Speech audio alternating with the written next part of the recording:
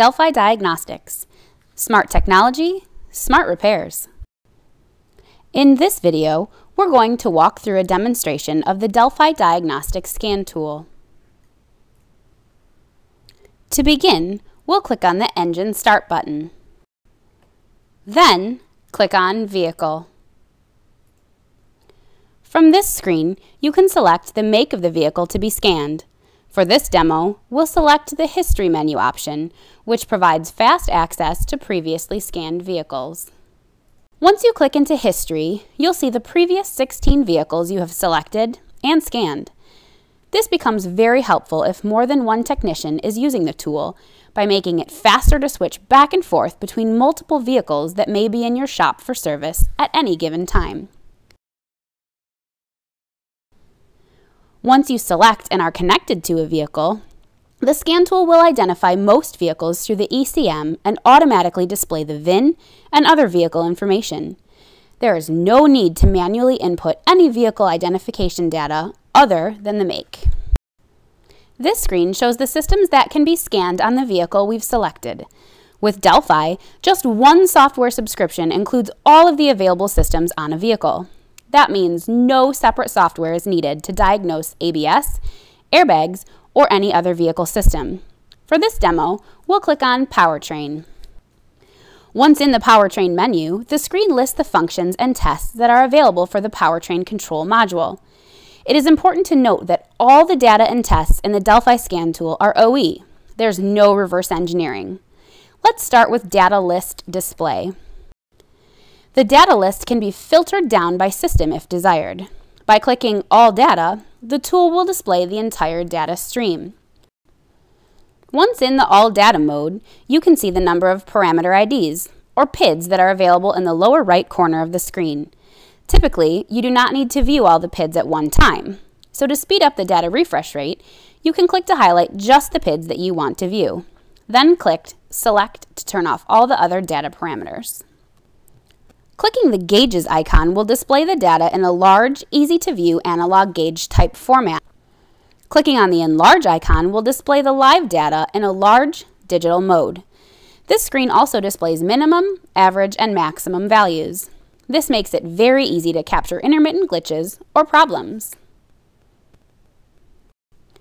Clicking on the graph icon will display the digital data in a graph format that allows you to watch for trends and also to capture intermittent glitches or failures. There is also a digital display of the data on the right side of the screen that shows current, minimum, average, and maximum values. Clicking on the multi-trace icon superimposes the graphed data onto a single chart. This is helpful when comparing data for related PIDs, such as cam position sensor and crank position sensor signals, or engine RPM and throttle position sensor signals. Heading back to the main powertrain menu, let's now take a look at diagnostic trouble codes. From this screen, we can read DTC information, clear DTC information, or view freeze frame and failure records. Let's start with read DTC information. The next menu screen displays several folders that store diagnostic trouble code information. And by selecting MIL Requested, you can view any DTCs that have triggered a check engine light. Now displayed is a list of current diagnostic trouble codes and their descriptions. To get additional information, just click to highlight and select the desired DTC, then click on DTC Info. Once you click for more info, you'll see that the diagnostic test ran and failed, causing the DTC to be stored. Also, the DTC status shows that this code is stored under the history codes, MIL requested, last test failed, and failed since code clear reports. And if at any point you want to clear DTCs, just click on Clear DTC Information. You'll get this prompt, which ensures you want to clear the DTCs before the system takes action. Now, let's look at freeze frame. Freeze frame captures data related to the DTC at the time the failure occurred. This helps duplicate the driving and engine conditions when diagnosing the problem. So, for example, you can tell if the failure occurred at idle, or while driving, cold engine, or warmed engine or any other scenario. We are now back to the list of the available functions and tests. OBD tests are commonly known as bidirectional controls, or BiDi. These allow you to send commands to and control the function of a variety of vehicle components. Let's click on OBD tests. And remember, all of the OBD tests in Delphi Scan Tool are OE and not reverse engineered. The tabs across the top allow you to select from a variety of bidirectional tests. The highlighted box at the bottom right shows the total number of tests available. We'll click on Engine Speed Control for this demo. From this page, click on Start to begin the bidirectional test.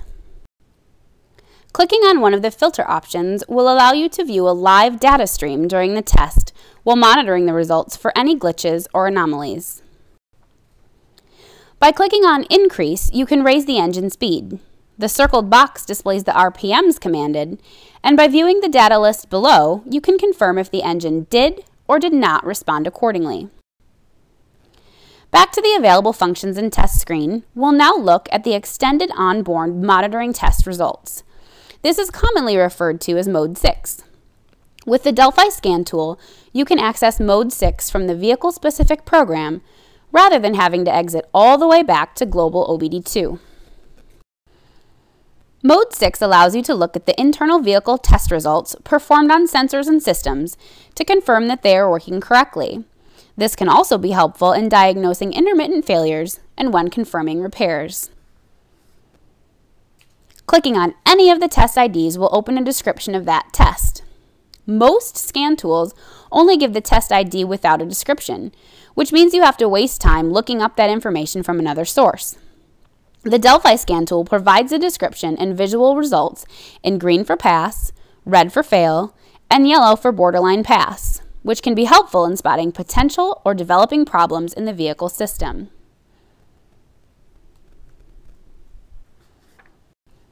Back to the available functions and test screen. Let's view the PCM update version by clicking on Module Information. This screen shows any software updates and reflashes that are installed on the module. You can determine if a required update to correct a malfunction has been installed or not. Should a reflash be required, J2534 flash capability is included on Delphi Scan Tools. There is no need to disconnect the Delphi tool and install another one to perform the reflash, saving you valuable time. The last item on our list of available functions and tests is Extended Snapshot, which allows the technician to record and view data parameters that are set to begin recording automatically by a DTC being set or triggered manually when an engine performance issue such as a misfire occurs. The recording may be played back in data line format or in graphing format. Back to our Systems menu, let's take a look at the DTC Health Check. This option runs a quick scan of all the available modules on the vehicle. The Delphi difference? You do not have to scan each module separately. Once the scan is complete, the number of modules scanned will be displayed along with the total number of DTCs found for each module. If no DTCs are present in a module, it will be shown in green. Any modules with DTCs will be shown in red. This function can be used as a quick scan for your customer and a report can be printed showing the results. And finally, a quick tip for you. The Delphi logo is at the top left of every screen. Clicking on it will open Delphi's RepairPoint program so that you can access any needed additional service information. And as an add-in bonus, a free six month subscription to Delphi RepairPoint is included with the purchase of any Delphi scan tool, providing online, fast, and easy access to vital service information such as capacities, wiring diagrams, and DTC diagnostic flowcharts.